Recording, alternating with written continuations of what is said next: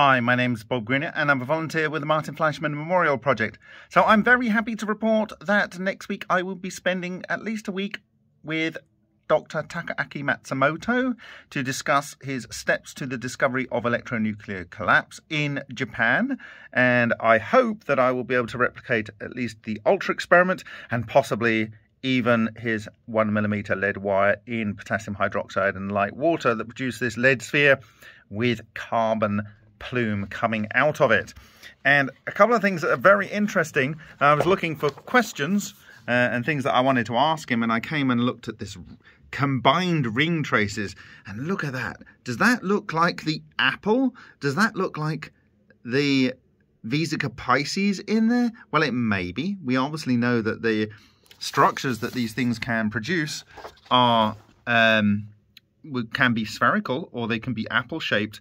And is this actually a ring that's impacted with this or is it the coherent matter uh, um, circle intersection with the material? Okay, um, now you can see also the Vesica Piscis here. Here's another shot of that same uh, image there.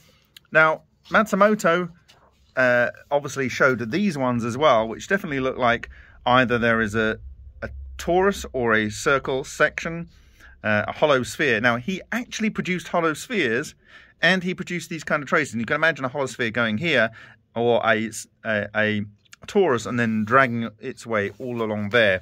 Anyway, uh, he has a explanation, which I'm going to be uh, interested to inquire about, uh, given the fact that he saw hollow spheres and we have and many other authors have too. But anyway, if you would like to ask a question of him, please go to the um, comment section uh, of this blog video and send me your questions so that I might be able to pose them to him and uh, we will be able to hopefully get some answers. So anything that you are confused about uh, or would like some more uh, detail on with regard to Dr. Takaaki Matsumoto's work, this is a once in a lifetime opportunity. So thank you very, very much for your time and I will see you in the next video.